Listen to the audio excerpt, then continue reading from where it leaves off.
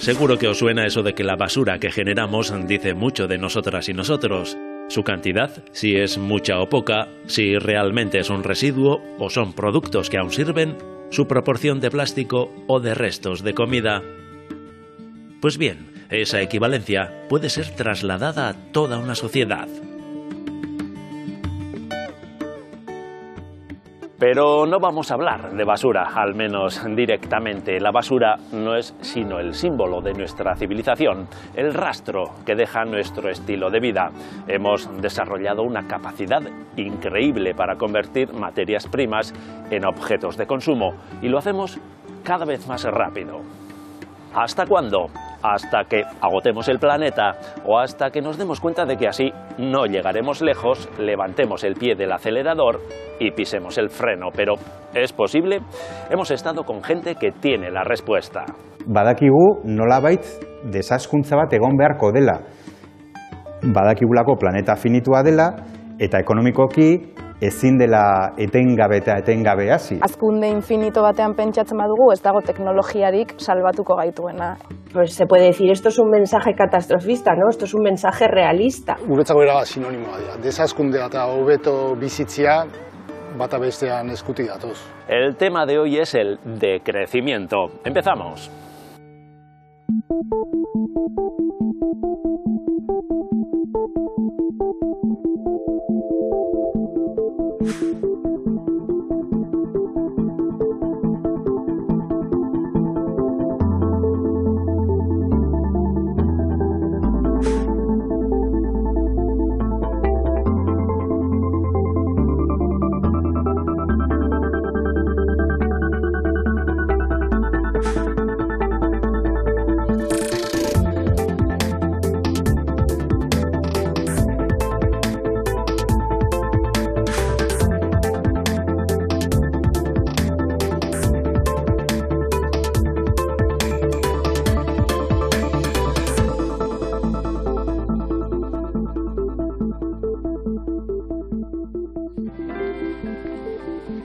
Para abordar el tema del decrecimiento hemos recurrido a Unai Pascual.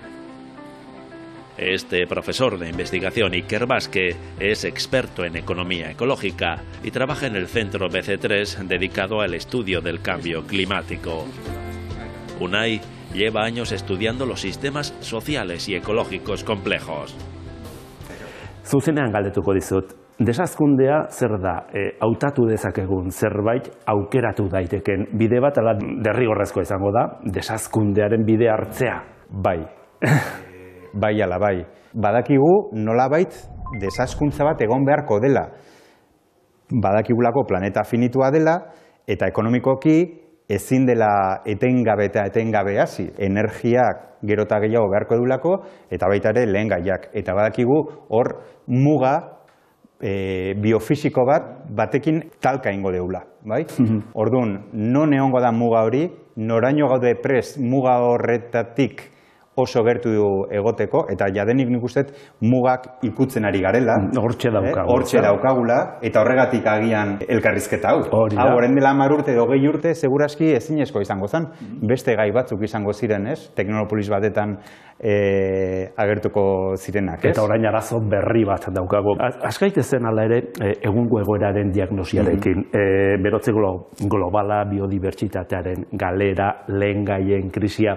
E, hori guztia, e, azkuntza e, eredu baten ondorioa da. E, bai, erantzuna da bai, e, eta kategorikoki esan genezake. Diagnostikoa e, argia izan behar da. Nere ustez, bigarren gerra mundialetik ona e, gure sistema ekonomiko bueno, dominanteak, ez? Behar izan du askuntza bat, askuntza etengabeko bat, e, eta normalean teleberriak eta ikuste ditugunean, egunkariak irekitze ditugunean, hilabetean behin edo agertzen da barne produktu gorinarekiko informazioren bat, ez? Igo egin dela, ez da? Ez bakarrik igo egiten dela, baizik eta zenbat. gure sistema ekonomikoaren oinarria da, ez da, hazi egin behar da, ez, azkundea ona da, e, desazkundea txarra. Sortu dugulako sistema bat zeinek azkundea behar duen bizirauteko. O, txipa aldatu behar dugu. Nik uste txipa aldatu behar dela. Ez da bakarrik arazo ekonomiko bat. Hau ere arazo sozial bat da. Ze balio dauzkagun, e, ze nahi, e, zer, zerekin bizitzeko gai garen edo nahi dugun, eta hor eraginkortasunaren kontzeptu oso importantea da.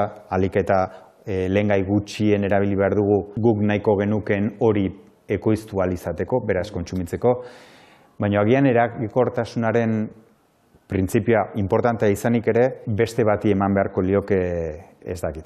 Alegia, Eh, gure bizi modua aldatu behar dugula, ez Nik uste nahikotasunaren Bizigaren modu hau, ez, e, estiloa edo. estilo aldatu beharko dugu, eta nik uste nahikotasunaren kontzeptua oso importantea dela. Nahikotasuna. Bai, nik uste dut gizartea konturatu behar da zerekin bizi daiteken, e, zerekin bermatu dezaken nahikoa izango duen ongizate maila bat.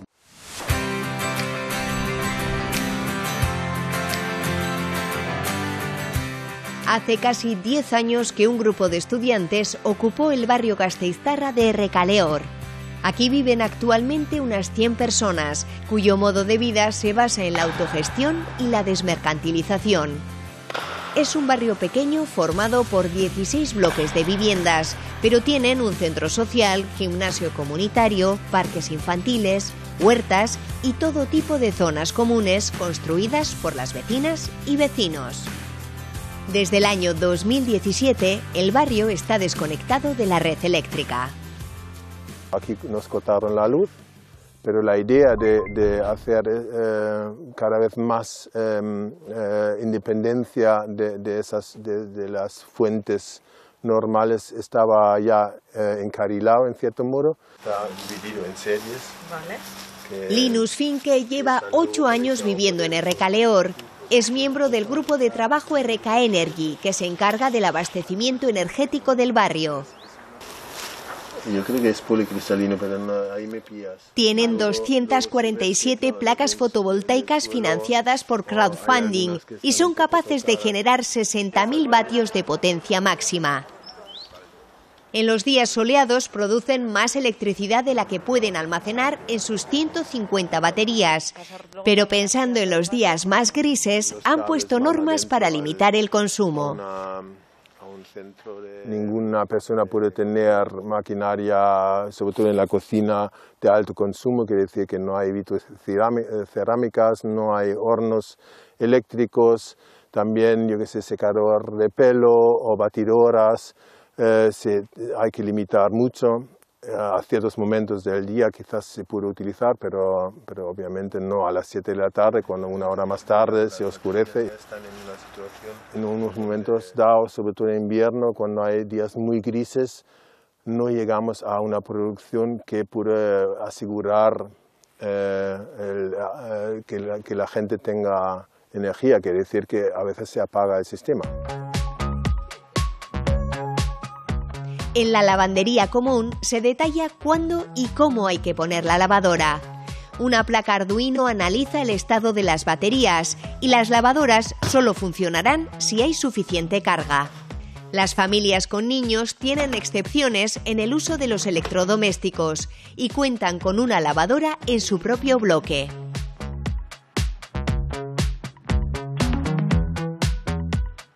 En cuanto al resto de fuentes de energía, utilizan gas butano para calentar el agua y tienen estufas de leña para calefacción. Un estudio realizado por la Universidad del País Vasco ha analizado la huella energética de los habitantes de Recaleor y han visto que es un 24% menor que la media de la comunidad autónoma vasca. El concepto de huella energética es innovador porque va más allá del consumo directo.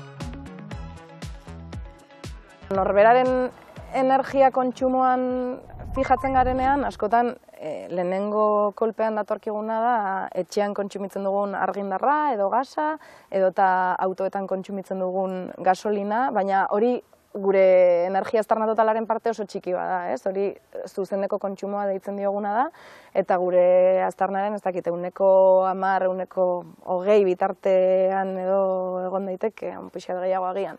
E, eta zeharkako kontsumoa, e, ba, kontsumitzen ditugun produktu edo zerbitzuen atzean dagoen energia guzti hori, izan daitekena herrialdean bertan e, kontsumitu dena edo deslokalizatutako energia hori, ba, zeharkako kontsumo horrek suposatzen du adibidez, eaen e, bat azbesteko energia aztarnaren pertsonako itzarena e, euneko irurogeita ma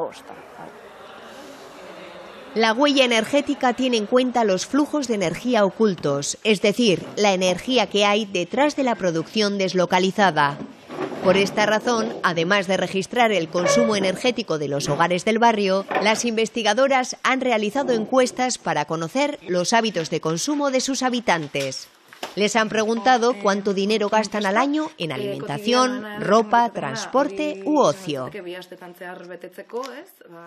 Eta hor ikusi duguna izan da, e, errekale horren zuzeneko energia kontsumoa altuagoa dela, ez? Bueno, alde batetik garraioan, ba, nik uste dut, igual, e, jende mota gaitik, ba, jende gaztea, asko mugitzen dena, autoak dituztenak eta bar.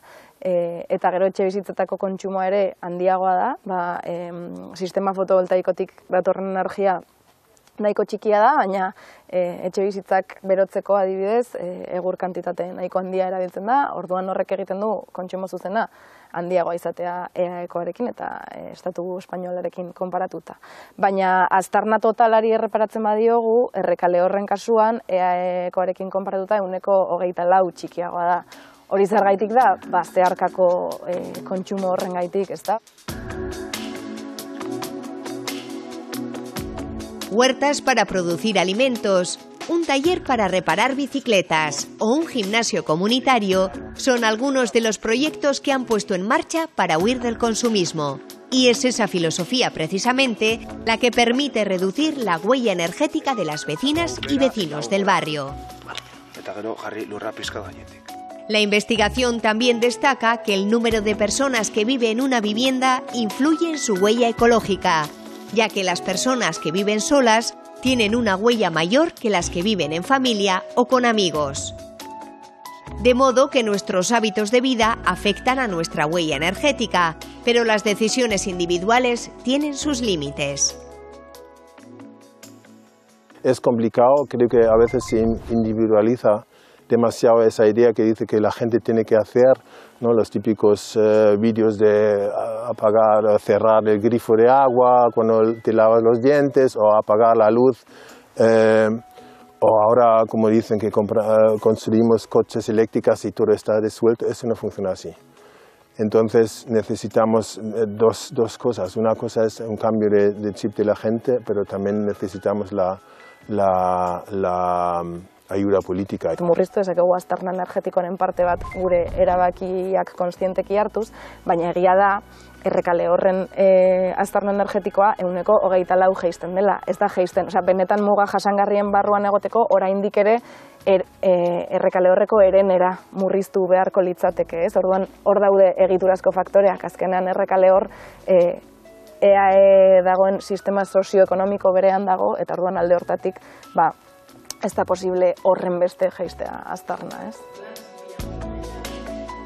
La idea de la huella energética pone el foco en los consumos indirectos de energías y puede servir para guiar no solo las decisiones de la ciudadanía, sino también las políticas públicas.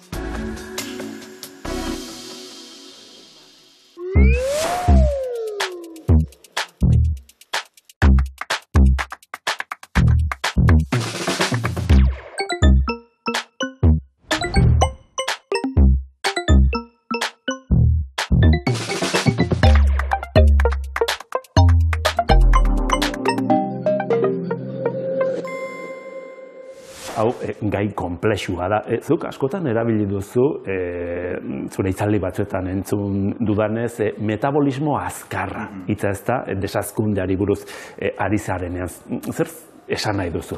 Metabolismo azkarra kontzeptu horrek. Edo metabolismo soziala, bai? Imaginatu sukalde, sukaldean gaudela, ez? Ba, beritugu lehen gai batzuk, sukaldatzen dugu, eta gero jaten dugu, disfrutatzen dugu, baina gero ondakinak ere sortzen ditugu, bai? Metafora bat da, hau ez da sukalde bat, hau da askoz ere gauza komplexuago bat, baino berdina gertatzen da. Ondasunak behar ditugu, ekoizpenerako behar ditugu, gero guk kontsumitu alizateko, Eta hondakinak era- sortzen ditugu. eraldaketa bat sortzen da, eta gero hondakinak sortzen dira, bai? Hori da metabolismo bat. Orduan guk, gure gorputzak metabolismo jakin bat badauka, gure organoak eta badauzkagu metabolismo hori aurrera eraman izateko modu nahiko eraginkor batetan, eta ekonomia sistemak ere berdina egiten du. Claro, eh, ez garena konturatzen da, metabolismo hori askartzen dugun einean, e, gure gorputza edo gure sistemak ere zerbait sufrituko duela. Hau da, gure gorputza e, metabolismo biologikoa hitz egiten baldin badugu oso arautua dago eta orekan dago normalean. Gure ekonomia sistema ez dago orekan, bai, beti dago askuntza Alegia, e, gure ekonomiak metabolismo azkarra duela, e, diozu. Gutxi gora behera. azkartzen ari dela, azkartzen ari den metabolismo bat. Eta horrek esan nahi du, e, elikagaiak eman beharko dizkigula, ezta? Elikagaiak direla ondasunak edo lehengaiak, ezta? Badugu arazo bat, lehengaiekin, ez? Ba, nik uste dut jendea ez dela oso jakitun e, zenbat lehengai dauzkagun erabilializateko ba, urrengo urteetan, urrengo hamarkadetan uste dugu, beti izan ditugunez, ba, hor jarraituko dutela, ez?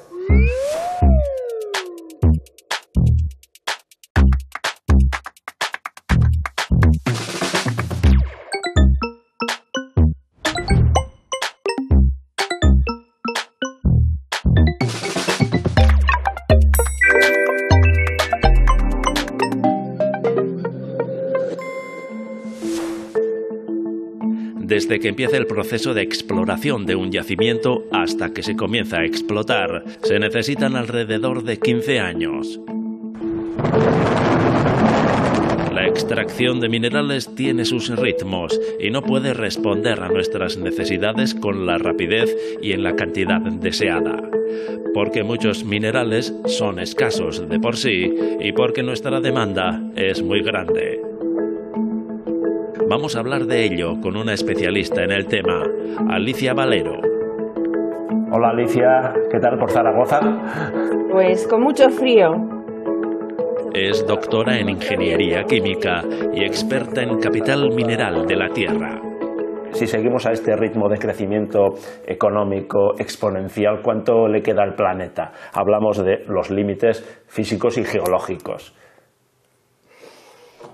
A ver, es complicado dar una respuesta de cuánto le queda al planeta. En realidad, eh, el planeta siempre va a existir y siempre va a haber recursos geológicos. Aquí el problema es a qué coste y por lo tanto más adelante a qué precio, ¿no? Vamos a ser capaces de extraer pues los últimos resquicios de los recursos minerales que necesitamos para la transición energética.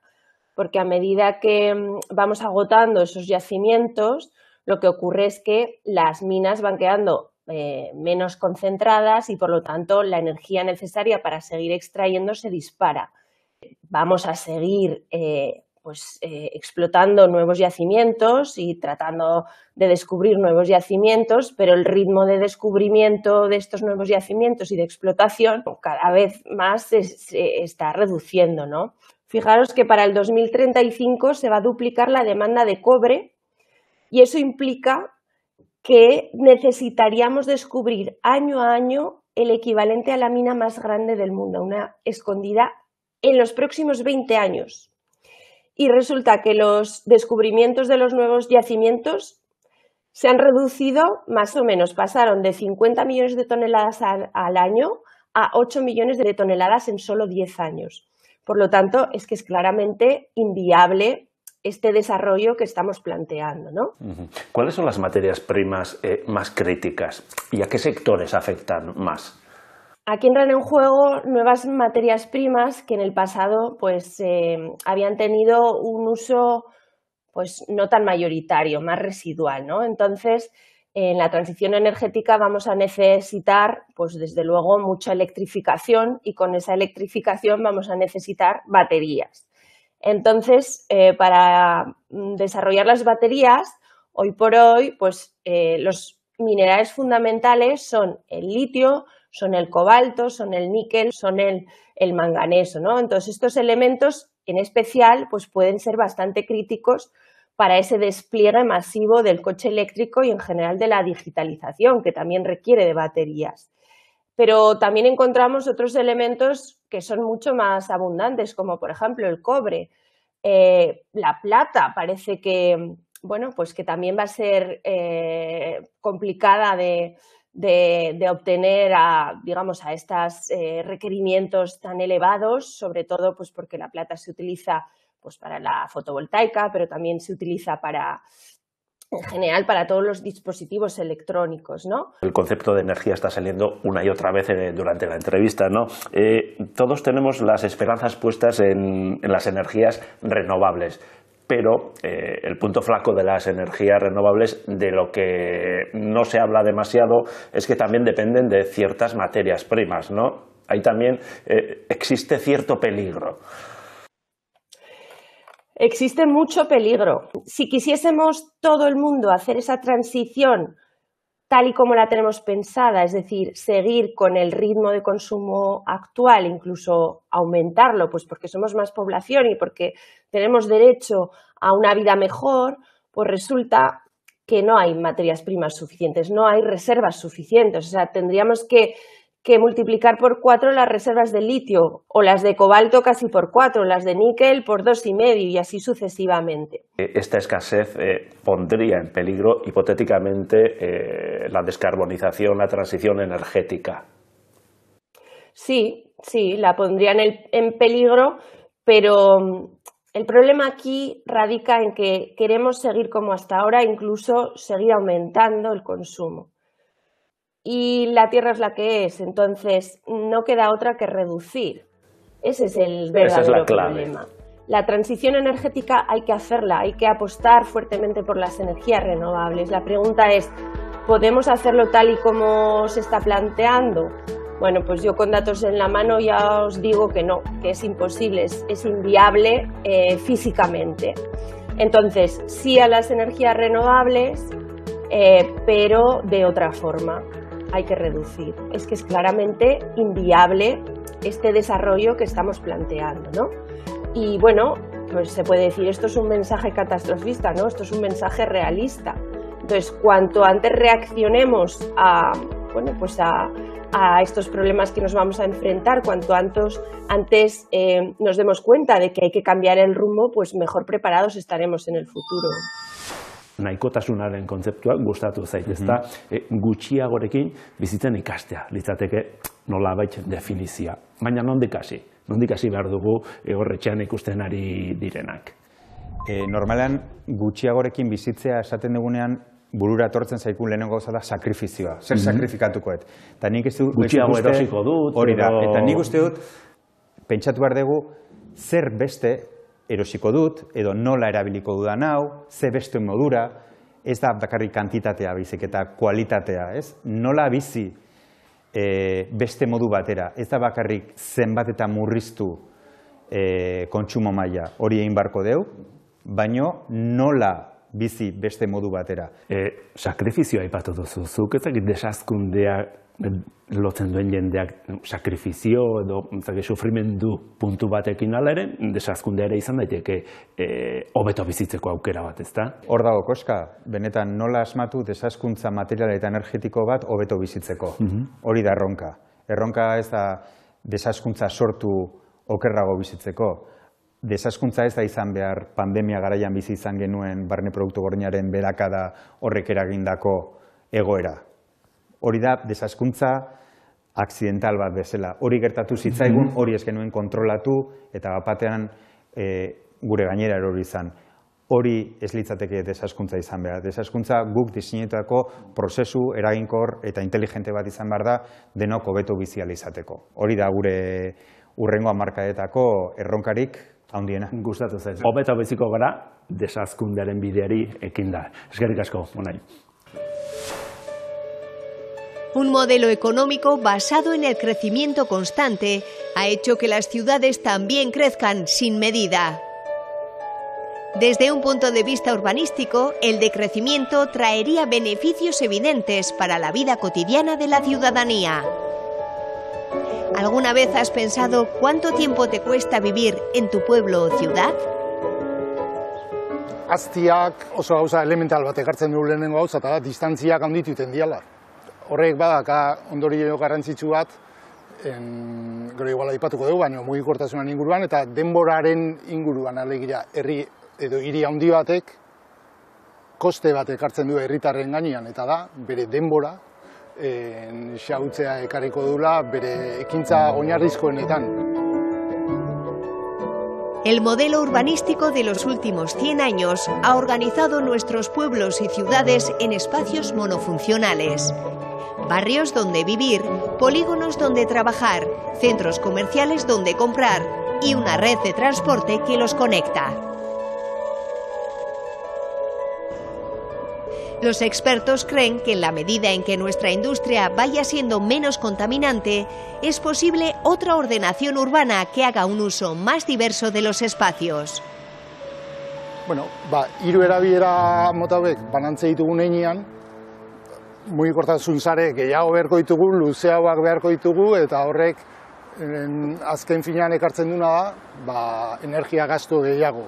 Bai, bai konbuste erregai aldetik, baina baita ere energia personal aldetik, demora leheno izan den bezala, demora aldetik bezala. Bai, bai. Hori nahaztutzia izango litzake, oain atzerako bideo bat egitea aldan einean, garbilak dian erabilerak, elkarrekin nahaztu, eskala guztietan izan eskualdia, herria, auzua, baina baita.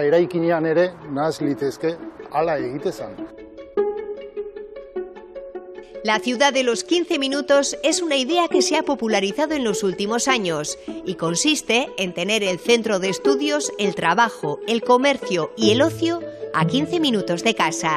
Que lo que encuentres en los primeros metros al salir de casa sea un espacio amable y no una carretera ni un aparcamiento. Que los espacios verdes estén integrados en el paisaje urbano y que puedas desplazarte de un sitio a otro a pie o en bicicleta. Para ello será necesario abandonar un modelo de transporte basado en el vehículo privado.